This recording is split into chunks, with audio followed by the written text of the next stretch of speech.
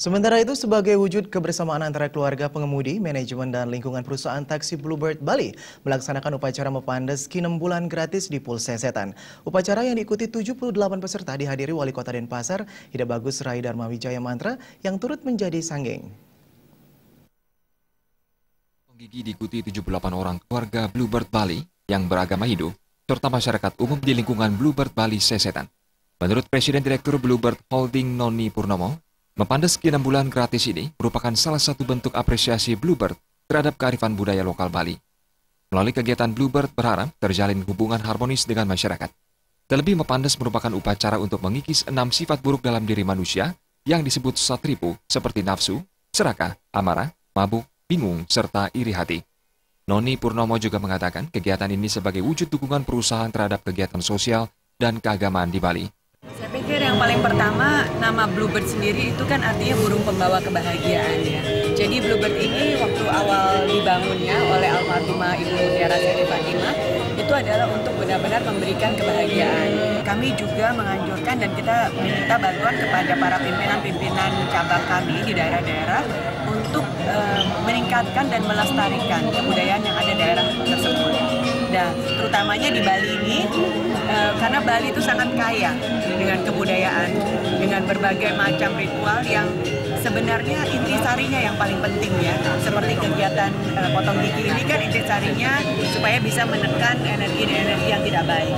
Nah saya rasa kalau hal itu kita dukung, itu akan memberikan uh, lebih banyak manfaat kepada masyarakat. Wali Kota Denpasar Ide Bagus Rai Dharma Wijaya Mantra yang bertindak sebagai sangging memberi apresiasi tinggi terhadap upacara potong gigi ini. Menurutnya, CSR Bluebird sudah mampu menyentuh adat istiadat masyarakat Bali dengan menyertakan warga kurang mampu.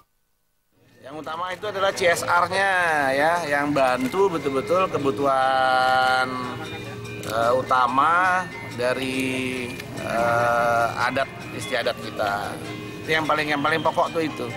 Jadi apalagi sekarang kan ya ada masyarakat miskin yang mungkin akan sulit untuk menyentuh uh, upacara seperti ini ya memang kewajiban kita bersama.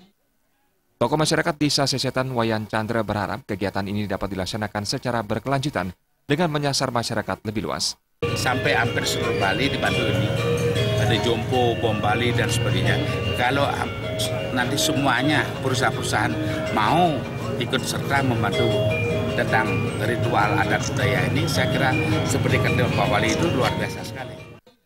Salah satu peserta upacara potong gigi, Komang Sustapeni yang merupakan anak korban bom Bali tahun 2002, mengaku bahagia bisa ikut dalam upacara ini. Semenjak ditinggal ayahnya, Ketut Sumerwat, kondisi ekonomi keluarganya menjadi terpuruk sehingga belum mampu menyelenggarakan upacara potong gigi. Dalam upacara ini dirinya merasa tersanjung karena yang menjadi sangging adalah wali kota Denpasar, Ide Bagus Rai Dharma Wijaya Madra. Bahagia gitu, senang, uh, tumben-tumbenan uh, ketemu sama Pak Wali, habis itu uh, disangi gitu deg-degan lah ada gitu ya senang lah